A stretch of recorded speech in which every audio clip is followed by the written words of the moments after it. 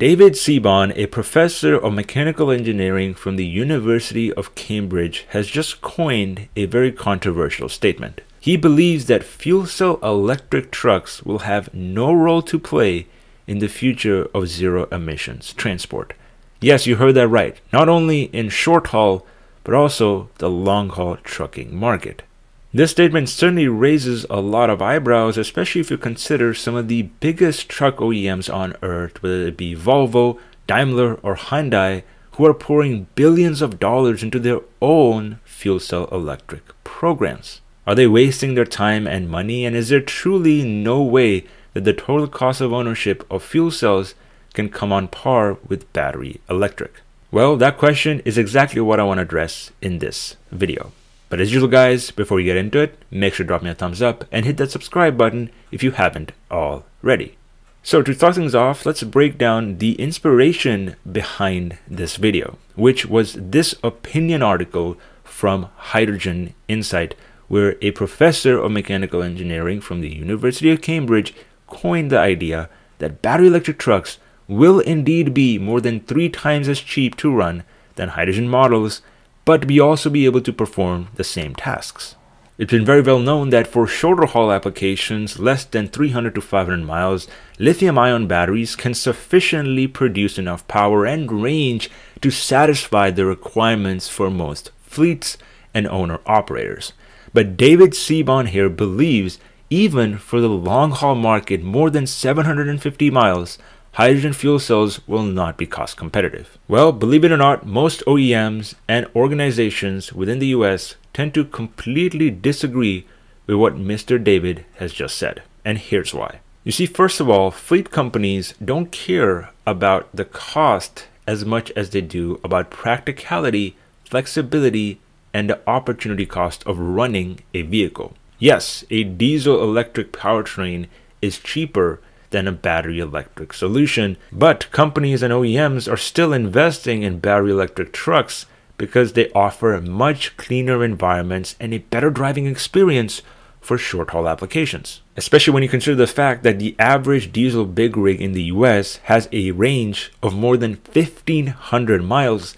Having a high range tends to be a big ticking off factor for most fleets because obviously right now the best battery electric truck on the market by the name of the Tesla Semi can barely achieve 500 miles. And guess what? Unlike the consensus belief on Wall Street, the higher refueling rates, the lower recharge times, and the bigger payloads that fuel cells can offer will actually translate into a lower total cost of ownership than battery electric. And I've been able to reach that conclusion with the help of a new study conducted by the National Renewable Energy Laboratory, the biggest clean energy organization in America. In this study, NREL conducted an apples to apples comparison between diesel, plug in hybrid, battery electric, and fuel cell trucks for both Class 8 and Class 4 parcel delivery vehicles. And it's safe to say that the results are quite staggering.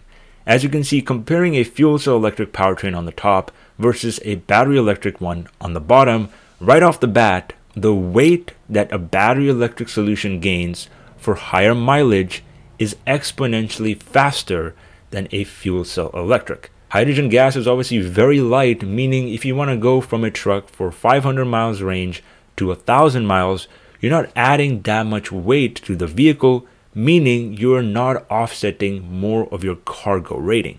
The relative weight of a BEV is much higher than not only diesel, but fuel cell electric, compressed natural gas, and even hybrid electric. Even in the best case scenario, that deficit is more than 2,000 pounds, meaning you are eating up payload capacity, reducing your vehicle's range, and obviously increasing its charging time because obviously a bigger battery requires more energy to put into it. To achieve the same charging time as a smaller battery, you need to increase the power rating of your charging infrastructure for your battery electric solution.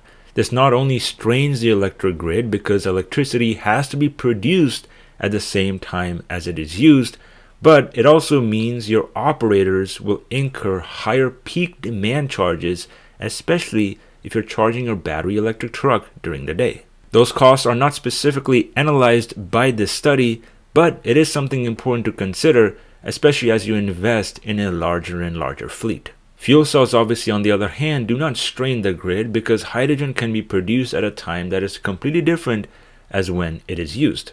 And that benefit becomes much more apparent when you're considering multi-shift, weight-limited sleeper cabs, which as you can see, can almost account for more than 60% of all scenarios analyzed here by NREL.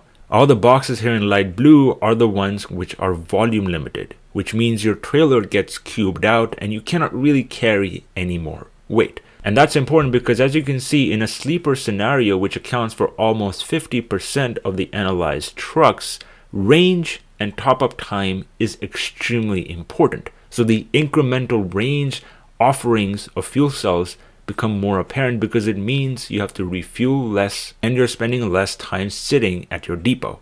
And believe it or not, that benefit does indeed translate into a lower total cost of ownership on a dollar per mile basis.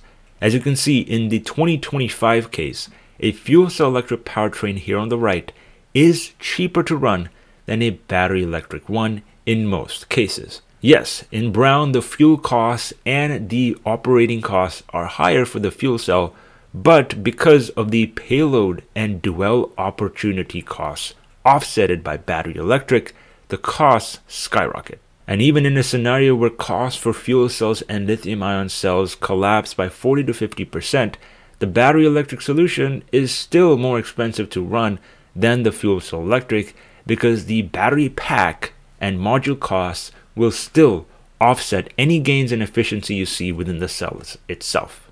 And because of this, NREL does believe that for a 750 mile or more solution, the battery electric vehicle is not going to be the best idea.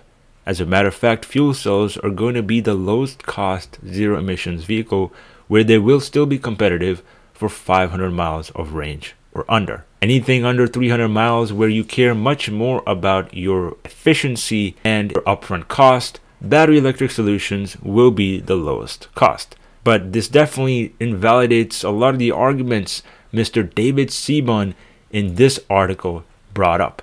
No, there is lots of data supporting fuel cells and batteries will both play a key role in the transportation industry, and it really is not a question about cost as much as it is about opportunity cost. Fuel cells offer a near one-to-one -one replacement of the workflow of most fleet operators, not to mention a much closer range to diesel or CNG. And believe it or not, these benefits are going to play a major role in the deciding factors for most customers, not just the upfront cost or operating costs of the vehicle. As usual guys, let me know your thoughts down in the comment section below. I hope you found some value from this video. If you did, make sure to drop me a thumbs up. But as usual guys, let me know your thoughts and I'll catch you guys in the next one. Take care.